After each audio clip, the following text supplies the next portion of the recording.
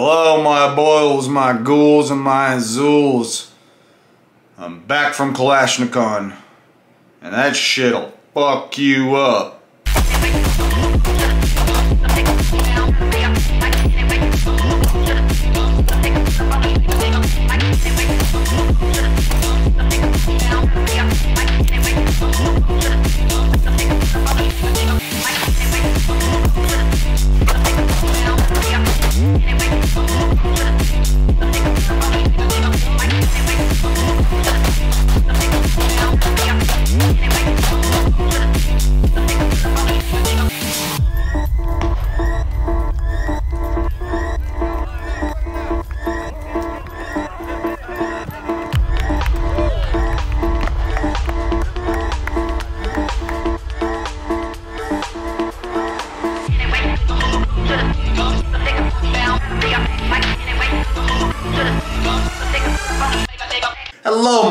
My ghouls, my zools, my fools with the tools. Welcome back to Kalash Kamaz. I am Goblin. Some of you know me as John. Oh my god, what a match this year. So, they made the rule set a little more difficult. They definitely added in some um, brutality into the match. So, I think before we get into it, I need to freshen up a little bit. Mm. Much better. And now that I look like a businessman, I think it's time to announce business. Business. The best way you can support this channel, and that's going to be Vitamin K Labs. So head over to vitaminklabs.com or Vitamin K Labs on Instagram. Pick yourself up a Gucci grip. Lot more products coming soon. So now that we have the very important business out of the way and I'm looking like a businessman, let's loosen up a little bit and talk about KCON. And now that I've stripped off the jacket and look like a circa 1985 Northrop Grumman worker, it's no better time to talk about falling down than now because boy will KCON make you eat shit. This year, not only did they up the level of competition with the difficulty of the match itself, they also increased the difficulty of the rules. And holy shit, this match has never seen so many tough competitors than this year. So to go further a little more into KCON before we get into the M90, this year the Friday stages were team stages. I did not compete, I actually chose to hang out, film all day, check out other people's runs, and just kind of absorb the match a little bit, absorb the town a little bit, see what it's like just to not be so busy. But unfortunately, the rest of the weekend, I didn't really get that opportunity because as a new business, Vitamin K Labs, we actually sponsored KCON this year, so got a little busy here and there. I was trying to get some promo material for y'all, and also I did skip out on a stage to go help setting up prizes, so that did happen. So you can guess, I didn't really look at my scores this year, but wasn't really there to actually like get a score.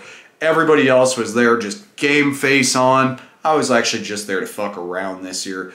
So I actually like to do competitions two different ways personally, and KCON is a perfect opportunity for something like that and a perfect opportunity for someone like me. There is no armored division. I have actually been pushing for that, but KCON is essentially three different matches over three different days. Your Friday stage is usually an extra day that's like either a night stage or a team match. This year it was a team match again. And Saturday and Sunday are both on PractiScore as two separate matches. So basically you have three matches on PractiScore every year for KCON. Basically my two ways to compete are LARP real fucking hard or game face day. I chose to do both since we had an opportunity to do that at KCON this year. My first day, I went straight LARP action with the Serbian PJP.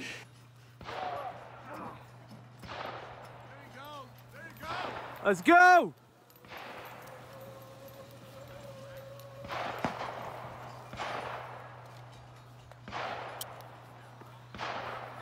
Mag!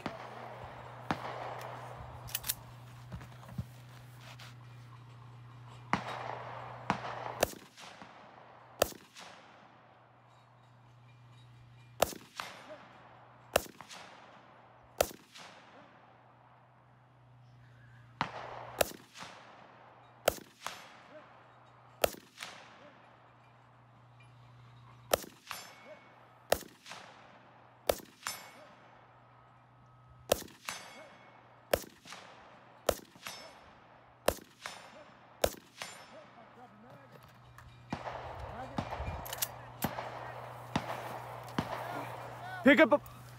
Oh shit. There you go.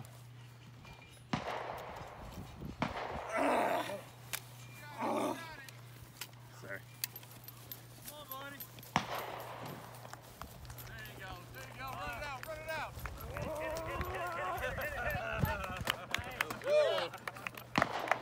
That button ain't gonna survive today. And I'll be having a surplus stash episode coming up on this whole outfit as a of people found it very contentious when I said it was from Arkan Tigers. I misspoke a little bit on Clay's video. It's not a full Arkan Tigers outfit. It's a PJP outfit, which is Serbian police at the time. The vest itself is what people are tripping about because the vest came from Arkan Tigers. And if you notice, it is not green, it's actually blue. The story on that one is coming up in Surplus Stash. Outside of the difficulty of the match being increased this year, as well as the difficulty of the rule set, there was also an up in the competition. Holy shit. This year, we had Clayco 47, Texas Kalashnikov, Combat Accountant, Neil Vermillion, AK Mario, that's SOF defense. We had Bolts and Hose, and dude, Big Papa Fluffy came through this year and fucking wrecked it, man. It's like his fourth match, and he goddamn wrecked it. Myself, I wore historically matching gear and fucked my scores up, but that's not actually why I went this year, man. I just wanted to go have a lot of fun, do the stages the best I can in some historical gear, which is extremely difficult, and why I'm really pushing for them to do a reenactor class to at least give a little balance to people that choose to do that and encourage people to kit up now and again because bringing out kit's just plain fun. You know, you don't always have to do this, you know, I want to train how I fight, or you know whatever you're saying is I want to compete how I train and train how I fight. You know, people have these different sayings towards it. You're allowed to just dress up and have fun. That's a thing as well. So I like to encourage that because straight up, I mean, countries that use ARs don't have the most interesting surplus. It's only really now that they do, now that every country's adopting ARs. But I mean, for real, historically, countries that adopted the AK as a service weapon, they just plain have cool surplus. Let's get real. Friday stages. I did not compete in the Friday stages. I actually chose to just walk around, absorb the match, film other people's runs, and really just get a sense of, you know, how the match was this year and, you know, being that there were so many new K-Con competitors, just really get a feel of, you know, what's the culture this year because K-Con, like every match, has its own culture, and I was so curious how our other matches culture bled into KCON, and boy, it just fit like puzzle pieces. It was fantastic, man. You know, we got a lot of people that are coming from like KB kind of culture. A lot of people that are coming from that Red October kind of culture, which is, you know, that's a difference of, you know, like super hard party people and like, you know, a lot of Jersey boys, which, you know, for some reason is the weirdest complaint that was very, very apparent this year. And to be honest with you, give my two cents on the whole Jersey shooter thing.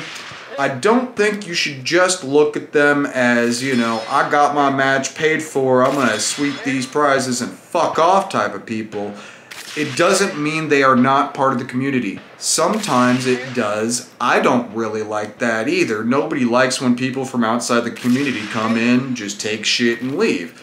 It's not, I mean, but luckily that's a minority of Jersey shooters. It really is. Yes, it does happen that companies, you know, they'll pay someone to go out there, get you, you know, like your ringer in there to go sweep some prizes, get their advertisement out there. Very rarely does that happen.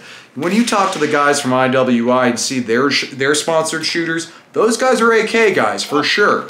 You know, you go see uh, Pro 2 Customs, those are AK guys for sure. You know, you don't have to be intimidated by very high level shooters that just happen to be wearing a jersey. And what I mean by that is it's not always some crazy paid for high level shooter with a huge ego that came in there just to do their job and fuck off. You know, sometimes it might be something like Zima Warriors, which is just a group of people that came together to share some expenses in travel, boarding, ammo, gear, and all of that, going to places like KCON. Uh, Zima means winter in Russian and many Slavic languages, so So basically, all it is is just a shooting group that started at Winter KCON, and we stuck together. I understand I'm giving you a bit of a ramble about KCON, but I honestly believe that Fit and Fire and Clayco 47's videos for KCON this year were so sufficient to give you a nice rounding of the matches.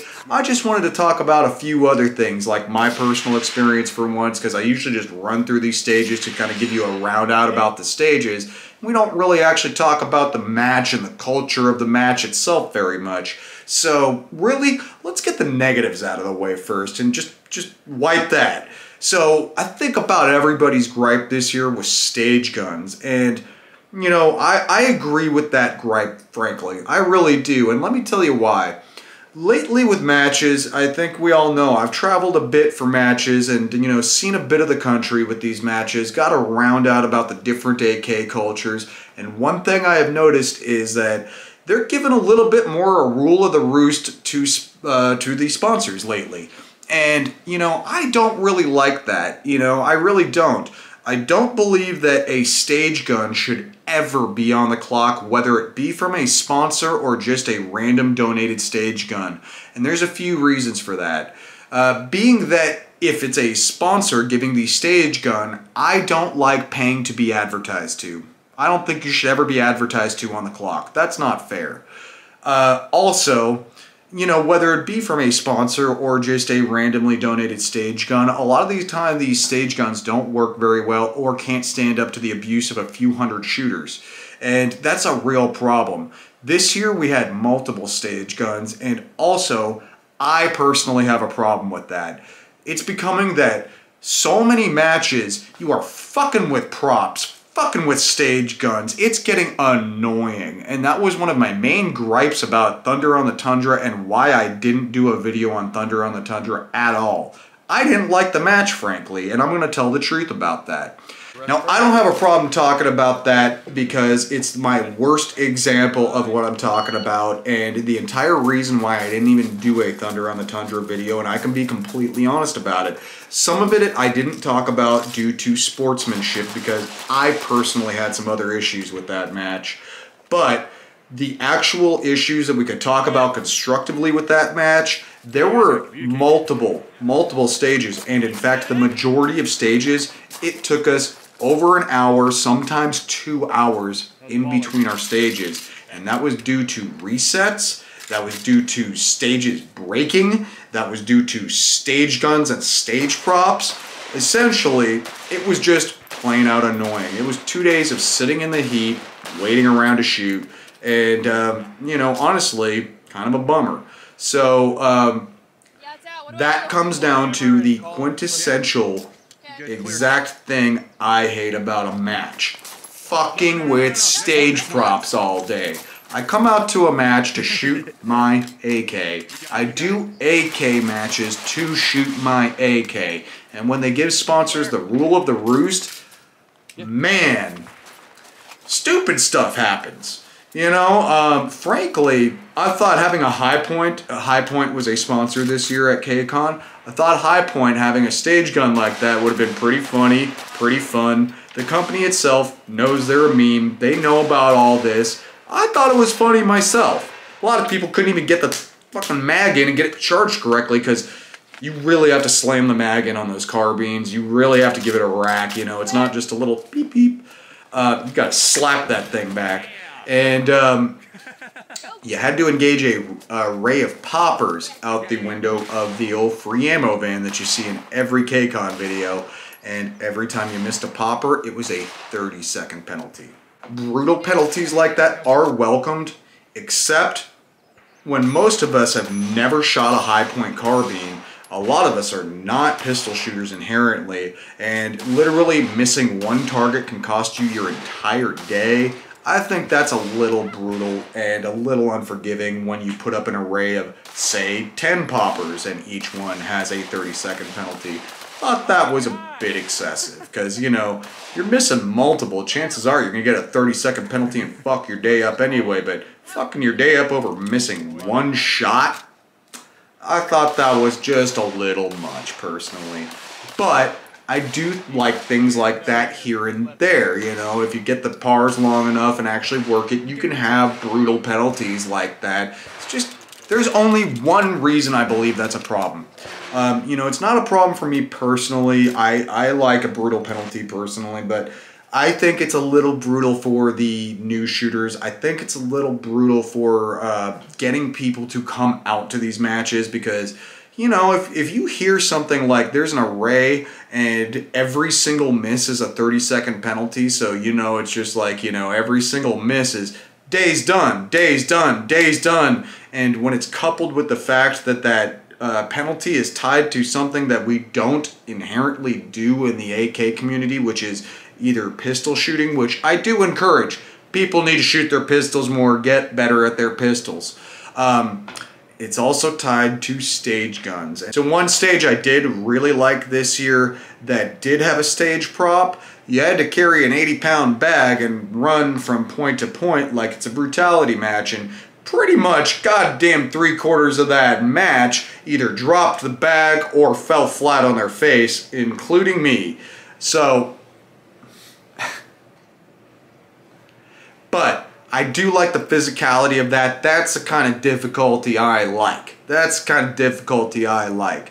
Now, I was subject to one of the new penalties this year, and one of those is if you drop a mag, you used to be able to just pick it up, stuff it, take your shots, keep going, whatever, or take your shots, pick it up, stuff it, keep going. As long as when you left that shooting area, you had that magazine on you, you were good. This year they instituted a thing where if you dropped a mag, took a shot, before you picked it up and retained it, it was a penalty. And it didn't matter whether you moved on or not. If you took the shot and then picked it up, it was a penalty. That's fine. I personally didn't see it in the rules, so, you know, sucked that I got subject to that. So I kind of fucked myself by not reading that there was an updated rule set this year. Also, I didn't do the team stages, so I didn't hear them mention it that first day, and unfortunately, second day, they just kind of ran through the rules real quick. So I'm guilty of not actually reading them on the actual PractiScore and getting the updated rules set. I am guilty of just going, oh, it's KCON, I know the rules been doing this a little bit. So they do update rules. Beware this does happen at matches. Um, you know, and really uh, that does tie into uh, the only other criticism I have about KCON itself is that I think its own rule set is starting to stifle it a little bit. In the past, it's what made the match. In the future, I'd actually like to see it move on a little bit from some of these and actually just kind of open up to a more standardized rule set that every other match does. I personally actually do like retaining the mags. I actually think it's pretty fun, but I personally believe that it is time to move on from that. That's about one of my only constructive criticisms about it. I just think that maybe um, it would speed the match up quite a bit not having to do this because I've heard matched uh, the ROs in the past say, you know, yeah, but then we have people, you know, about fucking losing their mags, all those, and this and that. It's literally not a problem in any other match. So I think it's time to maybe just let people fly free and get some speed and run. Um, that's what I mean by that. I love retaining the mags. The difficulty's cool, but it would overall speed the flow up if people could just fly free, you know? And um, you know, maybe even open squadding might help that kind of match because there's only 100 shooters and that, that that might even allow them to fit in like 150, you know, because it's just not a thing that kicking mags takes more time on the stages. It actually makes the stages take longer when people have to retain them because uh, let's get frank, not everybody trains for these matches. A lot of people just come out to have fun and that's okay. That's what these matches are for. There's there to me, they're only for two things. Get a score or come out and have fun. You're allowed to do both. I mean, you're completely allowed to do both. You don't have to go for a score, and that's completely fine. You can try for last if you want to try to get that last place score. I mean, seriously, it's your match to shoot how you like. But um, yeah, I, I do think there are a few things that, that I even like doing that I think would benefit the match if we dropped. And really, that's that's about all I could say. That's um, you know, it's just constructive criticism I'm trying to have, you know, and uh, you know that does tie into the last stage that we did. That was extremely problematic as far as competition goes on whether you were there to have fun or get a score because I truly believe that every stage at every match should be kind of designed for both of those things. And unfortunately, the last stage, it was a fun stage, but it was not a competitive stage whatsoever. And it really didn't teach you any drilling. It really didn't, um, you know, give you any experience that you can't have at any other match or any other stage or anything like that. So let me explain why. I personally liked the stage and thought it was fun, but what I didn't like about it is that it was all on the clock. And what you had to do was not use your gun at all. You had to use a sponsored gun. So going back to my first comment, I don't like being paid to be advertised to. But it was very nice that we weren't shooting our own ammo. So, okay. But it was only 20 rounds and it was out of select fire AKs. All on the clock AKs that people have never run before. They don't know the zero. They don't know the holdovers. And we got to shoot 200 yards with these things. Some people having never fired a machine gun before. And, you know, it's just a little strange to me that they chose to let that happen. Because, you know, you had to basically move to an array of three targets, give it a small burst. At the end, you had to hit a 200 yard, and then your time was done, and you could do whatever the fuck you want with the rest of that ammo. So everybody pretty much dumped the rest of it out of the uh, full auto setting on whichever AK they chose. Um, now, why I thought it was bullshit goes back to Red October last year. The most bullshit stage out of Red October last year, and it's a straight complaint. Make no mistakes about it, I'm complaining right now about this. There was a stage where you had to shoot a sponsored uh, sponsor's gun, and they charged us an extra $100 that year, claiming that the extra ammo for the stage guns was very expensive. We ended up shooting five rounds out of a sponsor's gun, which all it was was a piston-driven AR, and then one round of 38 special. Now to wrap this up, I understand that, you know, when you have no news, that's a kind of a clickbaity title for a update video on the M90, but like I said, no news is good news, so I think the only way we can really wrap this up is talk about the award ceremony, which was absolutely incredible, one of the best KCON award ceremonies there ever has been. So, between our squad, Squad 1, and Clay's squad, Squad 3, we literally took the entire placement of the match and the entire prize table, which just happened to be random draw. So there was actually very few people outside of our squad that happened to get any prizes. It was kind of weird. Damn near looking rigged, man. Really, this was an award ceremony like no other KCON, and I couldn't go any farther without talking about Neil Vermillion and AK Mario. I mean, they are from this community, they are built from this community, and they swept the match. They are such incredible shooters. You really want to get the inside of a just fucking amazing shooter and how they put together things in their head when they're planning a stage and how they execute that. Those are the kind of people you want to talk to. I couldn't go any farther without congratulating Bolts and Holes, Kyle. We just, a lot of us just met him for the first time this year, and his, the whole story with the guy, so incredible. We loved him off the bat, incredible shooter, absolutely great job. Congratulations, buddy. So, outside of him, man, I only got a short little list of notes because I wanted to get you guys something here. And, you know, I just wanted to really not make a full KCON video, not make a full M90 video, not make a full AK culture video, AK community video. I wanted to talk a little bit about everything because that's kind of how this past few weeks has been for a lot of people in the AK community.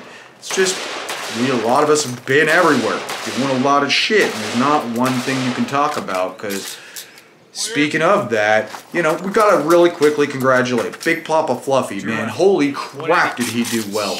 Clay Creed, holy shit, he did so well. Clay Owens, dude, good job on another win, man. Seriously, good job. really, really, really came through on the community aspect and really, really gave us a great video the other day about KCON. So, dude, go check that video out. Check out Fit and Fire's video too. He was mopping it up too, but man, just like everybody at KCON, he was getting his lunch ate. Even the combat accountant got his lunch ate a couple times here and there. Go check his Instagram to see what I'm talking about. Pretty funny shit. So,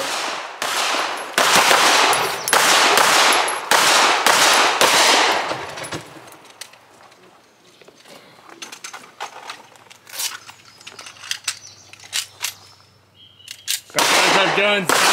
Guns. What? So to wrap this whole thing up, we couldn't go any farther without talking about our boy Tomislav, the Carbon R32.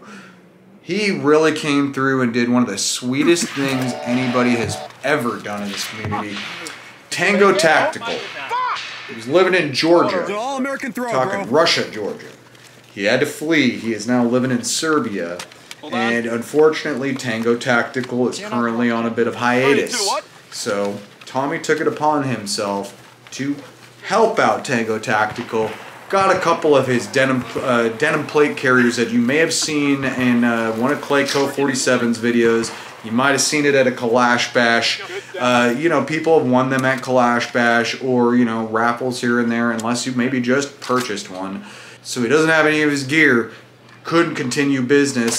So Tommy arranged to raffle off the last of the Tango Tactical plate carriers, and we were able to actually get enough about halfway there. And at the last minute, Tommy came through with a donation of a couple magazines. Uh, the combat accountant Neil Vermillion donated a Plum magazine from Ukraine that he picked up personally in Ukraine. I donated a battlefield pickup tanker uniform that came from Ukraine, and we were able to actually pull it off and get him the rest of the money he needed to get back in business. So I am proud to say, good job, Tommy. I am so proud of all of us. We did it for him, man. Tommy did it for him. And even cooler, we've never met him in person. Not one of us has ever met him in person. Tommy's going to deliver this in person in Serbia very soon. So, how cool is that, man? This is the AK community. This is AK culture. This is what we do for each other. This is how we have fun. This is how we stay safe. This is the stupid we do.